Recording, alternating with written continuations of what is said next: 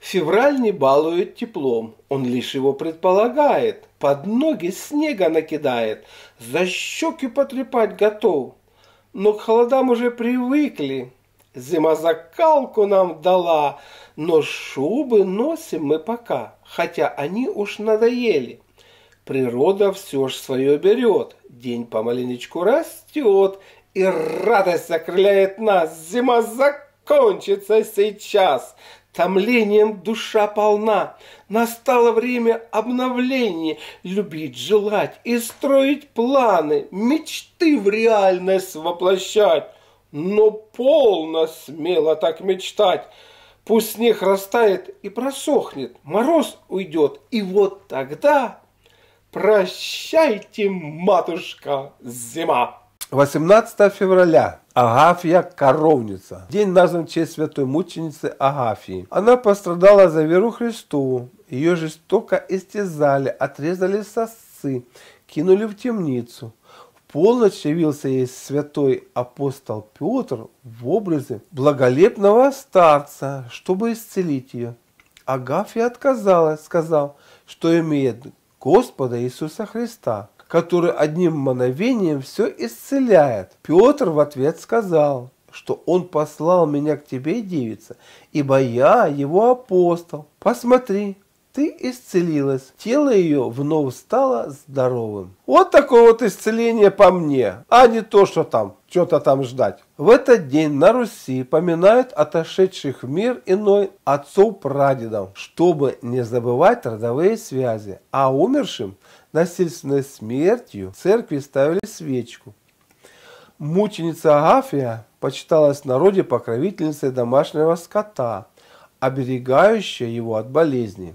Поэтому ей сегодня молились. Считалось, что в этот день по селам ходит коровья смерть. Ее представляли в образе старухи в белом саване или страшной женщины с руками-граблями. Она обладала способностью обращаться в различных животных черного цвета. Было поверье, что сама коровья смерть не может войти в село. Ее можно только завести вместе с товарами, обозами и прочими вещами. Помочь справиться с коровьей смертью может только борозда. Решив опахивать свое село, женщина Женщины и девушки тайно собирались ночью в одних белых рубахах с распущенными волосами. Вместе впрягались в саху и проводили борозду вокруг деревни. При этом обязательно откидывали землю или снег в сторону противоположную деревне, а на перекрестках чертили кресты. А управляла сахой целомудренная девица, либо вдова. Дополнительно в хлевах вешали старые лапти,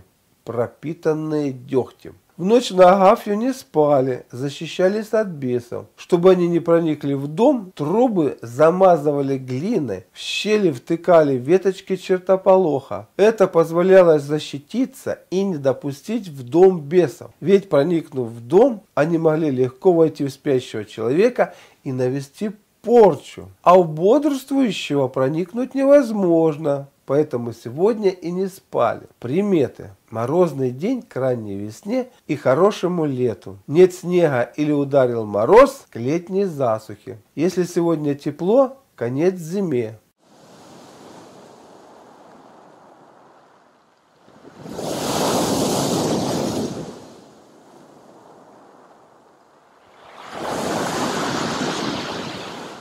Ну и хочется мне снять совсем кратенькое видео. Это видео на тему того, что я вот смотрю разного рода там фильмы на военную тематику, там люди заболели, вот, и требуются антибиотики, вот там, полечить там, допустим, тот же туберкулез, там еще что-то, еще что-то. То есть люди забыли, что есть природные антибиотики.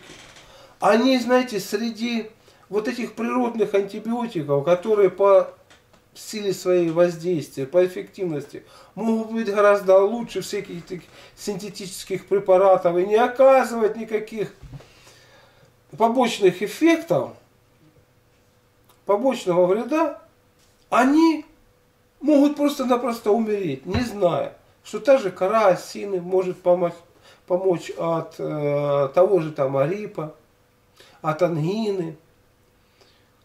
Допустим, тмин, для того, чтобы не было у вас вот этих разного рода там вздутий, газообразования в кишечнике. То есть простых веществ и по большей части пищевых, которые вы можете применять и которые прекрасно работают в организме. Причем вот когда мы с вами про апистархоз разбирали видосик, важно понимать, что видите, как, как следствие, вроде начинается в, печен, э, в печени все это дело. А дальше уже идет э, газообразование. А что такое газообразование? Там понос или еще там что-нибудь такое. Какие-то там боли, несварение и прочее, прочее, прочее. Это говорит о, о том, что и тонкий, и толстый кишечник уже заселены разного рода неблагоприятной микрофлорой, которая вам вредит. Значит, на нее тоже надо воздействовать. Чем воздействовать? Вот один из лучших препаратов, вот, который я на себе определил, это тмин.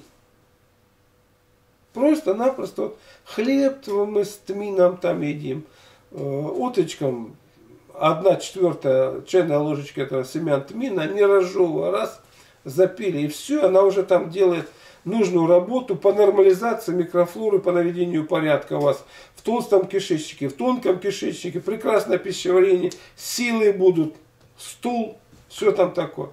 Ну вы как-то это, смотрите несколько шире, все, все у вас сузилось к тому, что имеется у вас там, там только в аптеку, э, в аптеке имеется, и только лежит, э, вернее, сделано в виде таблеток там, от паразитов, там, от температуры, от того всего.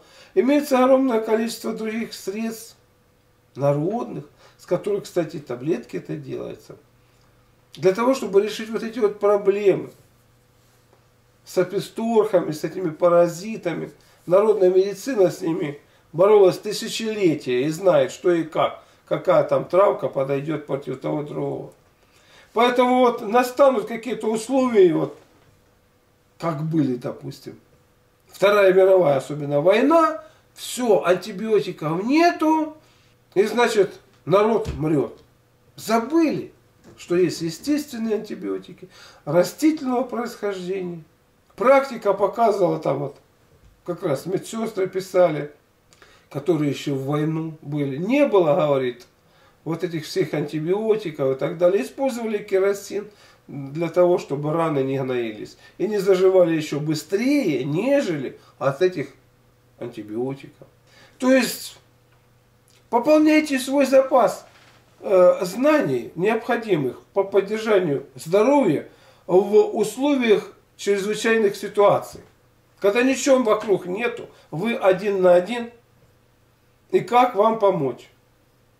Все, аптек уже нету давным-давно. Чтобы вы как-то знали и понимали.